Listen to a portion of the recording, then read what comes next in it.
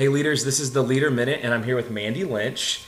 And we wanted to encourage you as cell groups are getting ready to end for the semester just to thank God for everything that He's done so far in your personal ministry. We want you to celebrate the wins. Let yourself praise God for, for new relationships, for discipleship, for students who have conquered sin.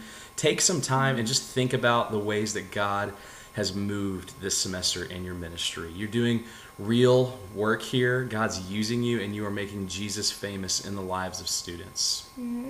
And in addition to thanking God for what He's doing, uh, we just want to make sure we're evaluating our groups and how effective they are. And here's a few questions you guys can ask yourself as leaders. Um, did I see spiritual fruit from our cell group this semester? Um, an example is did students grow in their relationship with Christ? And did our cell group reach out to new students and grow in numbers? Um, and in what areas of my leader commitment did I excel?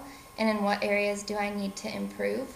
Yeah, and, and, the reason we do that is because if we take time to evaluate, then we can understand where we're strong and where we're weak, so we can get better. And so, hey, one more thing we want to tell you before we leave is Winter Chill is coming, and Winter Chill is our annual retreat to New Life Ranch. We do it every year.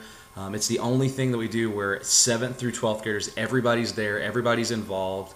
And so there's a couple of things that we need from you. Uh, the first thing is to just come. Um, this retreat can't happen if leaders aren't there, and you guys are just what make Winter Chill awesome, um, ministering to students. Uh, the cost for leaders is $50, and you can sign up online. Yeah, we'll have a link in this email. You can click it, sign up there. We try to subsidize the cost for leaders as much as possible, so it's $50. Let us know if you have any questions or thoughts or, or maybe even need some help with that.